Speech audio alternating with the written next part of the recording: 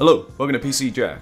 So, it's been a while since I published one of these kind of talking heads videos, but there's something we really need to talk about. In case you weren't aware, Nvidia have now launched the long rumoured RTX 3080 12GB model, superseding the previous 10GB model.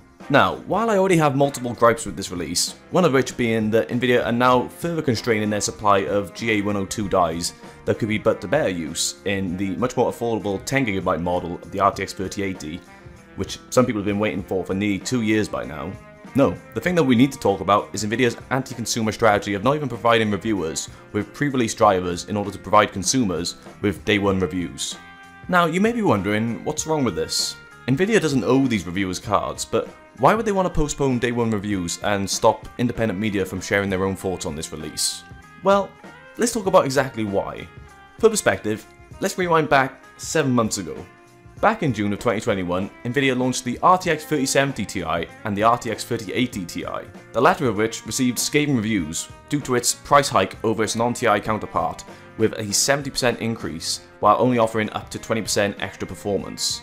Obviously, not the response that Nvidia were looking for. So, fast forward to present day, it seems that Nvidia have decided to forego the day one critical consensus and force consumers to blindly purchase without any research. And if there's no negative reviews on launch day, surely that's good news, right? Well, not quite. On launch day, Steve from Hardware Unboxed spilled the beans and told audiences exactly why they were not seeing day one reviews. Nvidia's AIB partners had provided reviewers with samples ahead of launch, but with only two days to spare, Nvidia then announced that they would not be providing pre-release drivers in order to even benchmark the cards.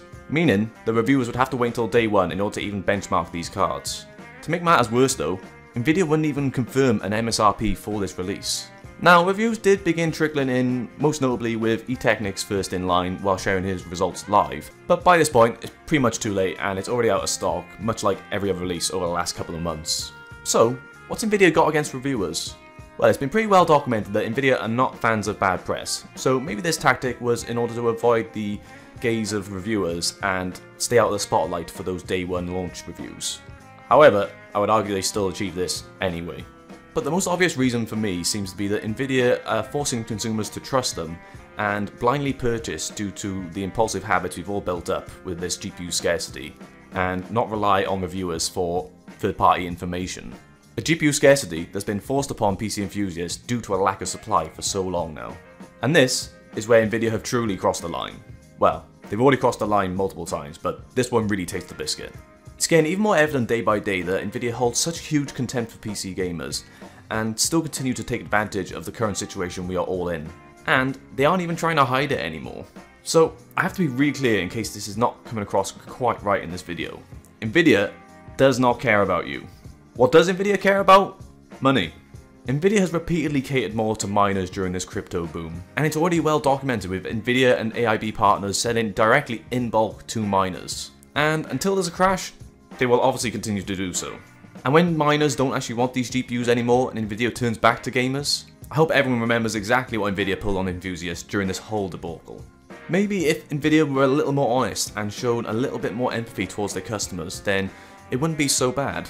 But time and time again, Nvidia continued to hold their investors in much higher regard, which was even more evident with their completely atrocious CES presentation, where they launched yet another card that takes advantage of the GA102 die, further constraining it from being released further down the product line. But that's another video for a different day. I'm just at a loss with these kinds of releases, and initially I did decide I was going to try and phase out these GPU launch discussions, but I really felt I just had to get this information out there in case some people had missed the memo, and just make sure people knew how scummy Nvidia were being with this release. And maybe if enough people know, they'll vote with their wallet where it matters. Don't forget, AMD and even Intel are going to have GPUs at the end of this shortage, and it's time that Nvidia started to realise that. So, that's it for today's video. If you enjoyed it, then please feel free to like and subscribe for more videos on the way soon. If you did enjoy the video, then please feel free to leave a dislike. If you're after more PC Jack content though, then you can check me out on Twitch where I live stream every Monday and Thursday. If you miss a stream though, then you can check out the PC Jack VOD's YouTube channel. You can follow me on Twitter and Instagram at PCJack94. If you'd like to talk more with myself and other like-minded hardware enthusiasts, then make sure to check out the PC Jack Discord. If you'd like to support the channel even further though, then make sure to check out the PC Jack Patreon where you can claim exclusive benefits while helping to fund everything I do on the channel for you guys. You can find links to all those in the video description. Thanks for watching, and I'll see you next time.